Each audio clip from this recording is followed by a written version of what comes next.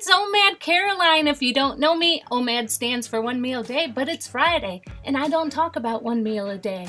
What I talk about is High Five Friday! And what High Five Friday is, if you don't know, I was inspired by Jace Jacobs. He has a channel called Jar of Poetry, and if you want your vibes raised, that's the place to go. So few months ago, he challenged his subscribers to send videos of appreciation to those people that impact you in a positive way. And I started doing that in my personal life. And then I was like, I want to do this for my YouTube family. And that is why I started High Five Friday. This is a super special High Five Friday. It is Valentine's Day. And I was like, I want to give this out to one of the most sweetest, kindest, and someone who just shows love all the time.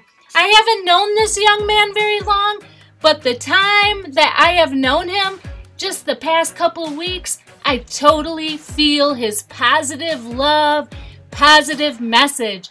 So this High Five Friday goes out to Trevaughn Peterson.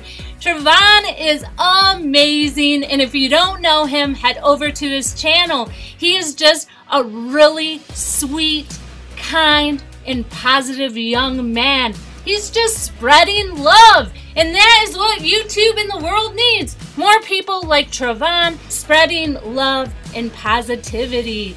And um, what I love about him is he likes to go out and exercise. So once in a while, he creates a video where he's out walking and exercising. And I love that. So Trevaughn, this is your High Five Friday. And I hope you have the most best, happiest, and greatest Valentine Day. If you don't know Trevaughn, head over to his channel, subscribe.